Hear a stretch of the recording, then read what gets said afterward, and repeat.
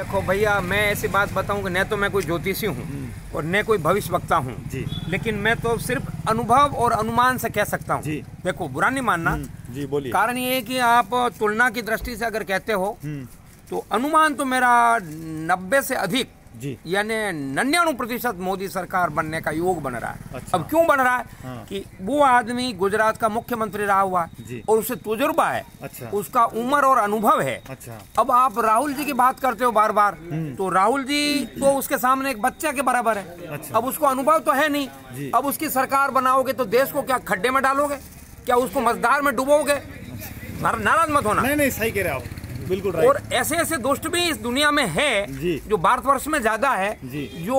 एक रेल मंत्री बनाया जो वो क्या नाम लालू प्रसाद यादव जो गायों का चारा खा गया अच्छा. जो अभी बेचारा जेल की सड़कों में सड़ रहा है। जी. अब वो हिंदू संस्कृति का होते हुए भी जब गौ माता का चारा खा सकता है तो ऐसे नेताओं को देश में चुन करके या उनको ला करके तो क्या देश को पतन में ले जाना डुबाना है क्या?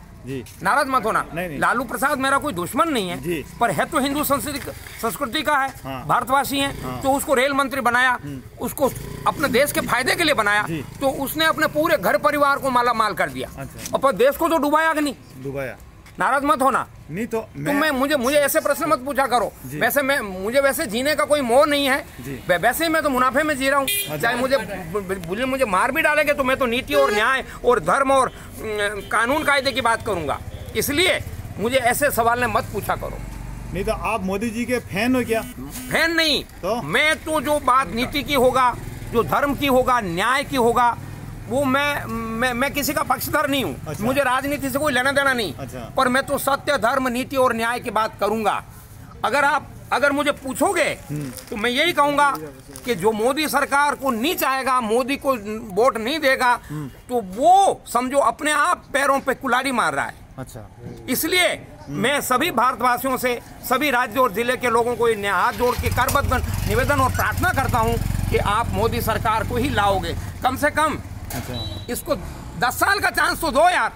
जबकि वो मनमोहन सिंह जैसे कोई अपने पिताजी का पट्टा हो जो वो दस साल तक बैठा रहा प्रधानमंत्री के पद पे और उसने देश को कोई डेवलप नहीं किया। नाराज़ मत मत होना। हाँ, हाँ। हालाँकि मैं पर मैं कहता हूँ कि वो खाली सोनिया जी के बलबूते पर वो बैठा रहा। अच्छा। और खाली चुपचाप बैठा रहा लेकिन कुछ देश का उसने भला नहीं किया मेरे दृष्टिकोण में। तो अब आपको फिर भी मुझे मुझे लग रहा है कि अगर ये पाँच साल ये रह गया ये मोदी सरकार तो देश माला माल हो जाएगा।